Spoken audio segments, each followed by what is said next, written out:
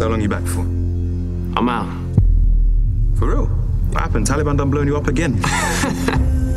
so you're gonna do now, man? I have no idea. So you're the real life Call of Duty. And I could use man like you in my operation.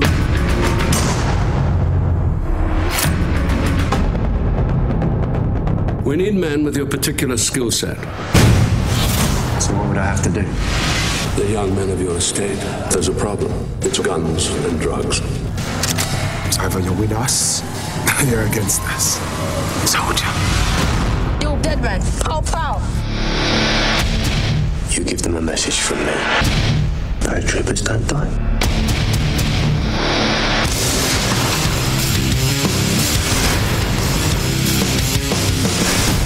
You need to walk away. It's all about power.